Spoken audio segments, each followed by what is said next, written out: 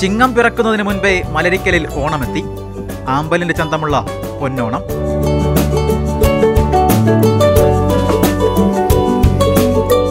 Acre കണക്കിന് പാടങ്ങളിൽ സുന്ദര കാഴ്ചകൾ ഒരുക്കി ആമ്പൽ പൂക്കൾ വീണ്ടും പുഷ്പസാഗരം തീർത്തിരിക്കുകയാണ്. കാഴ്ചയത്രയും പിങ്ക് വർണത്തിൽ മാത്രം.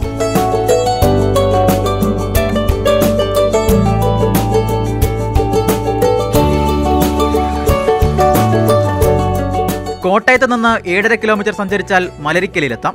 വേമ്പനാട്ട് കായലിനോട് ചേർന്നുള്ള അറുന്നൂറ് ഏക്കർ വരുന്ന തിരുവായ്ക്കരി ജെ ബ്ലോക്ക് ഒൻപതിനായിരം പാടശേഖരത്താണ് ഈ വിസ്മയം.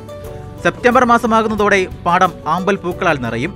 ഫോട്ടോഷൂട്ടിന്റെയും സേവ് ദ ഡേറ്റിന്റെയും ഒക്കെ പ്രിയപ്പെട്ട ഇടമായി മലരിക്കൽ ഇതിനോടകം മാറിക്കഴിഞ്ഞു.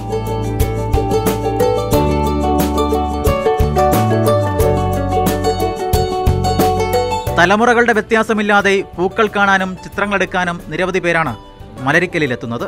ഇതിനു മുന്നേയും കഴിഞ്ഞ വർഷങ്ങളിൽ ഇങ്ങനെ കണ്ടിട്ടുണ്ടെങ്കിലും നേരിട്ട് വന്നൊന്നും കാണാൻ പറ്റിയിട്ടില്ല. അപ്പോൾ വളരെ സന്തോഷമുണ്ട്. മനസ്സിന് വളരെ സന്തോഷം തരുന്നൊരു കാഴ്ചയാണ്. പല ഭാഗത്തു നിന്ന് ആൾക്കാർ ഇങ്ങനെ വളരെ ദൂരെ നിന്നൊക്കെ ഇത് കാണാൻ വേണ്ടി എത്തുന്നുണ്ട്.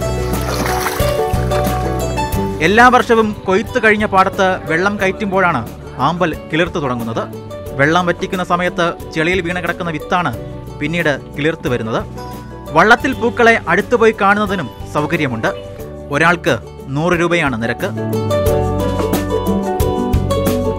ശനി ഞായർ ദിവസങ്ങളിലാണ് ഇവിടെ ആൾ കൂടുതൽ വരാറുള്ളത്. ഒരാൾക്ക് നൂറ് രൂപ വെച്ചാണ് മേടിക്കുന്നത്. ഒരു നാൽപ്പത്തഞ്ച് മിനിറ്റ് സമയം. ഫോട്ടോ എടുക്കാനും റീൽസ് എടുക്കാനും ഒക്കെ ഉള്ള ടൈം കൊടുക്കുന്നത്. ഇപ്പം ഒരു മൂന്നാൽ വർഷമായിട്ട് നാട്ടിലുള്ള ആൾക്കാരുടെ ഒരു വരുമാനമാണിത്. കാരണം കൃഷി കഴിഞ്ഞാൽ പിന്നെ ഒരു ആറുമാസത്തേക്ക് ഇങ്ങനെ വെള്ളം കയറി കിടക്കുക എല്ലാവരും ഇവിടെയുള്ള ഒരു മീൻപിടുത്തവും അങ്ങനെയുള്ള കാര്യങ്ങളൊക്കെ ഒലിപ്പണിയൊക്കെ ആയിട്ട് നടക്കുന്ന ആൾക്കാരായിരുന്നു. അപ്പോൾ അവർക്കൊരു വരുമാനമായത് അതിരാവിലെ എത്തിയാൽ മാത്രമേ പൂക്കൾ നന്നായി കാണാനാകൂ. സൂര്യോദയം പിന്നിട്ട് ഇളം ചൂടേൽക്കുമ്പോൾ പൂക്കൾ കൂമ്പിടും. കണ്ണെത്താ ദൂരത്തോളം പരന്നു കിടക്കുന്ന പാടത്ത് പൂക്കളുടെ വസന്തമൊരുക്കുകയാണ് മലരിക്കൽ. ക്യാമറമാൻ പി വി സന്ദീപിനൊപ്പം ഷിനോജസ്റ്റി മാതൃഭൂമി ന്യൂസ്.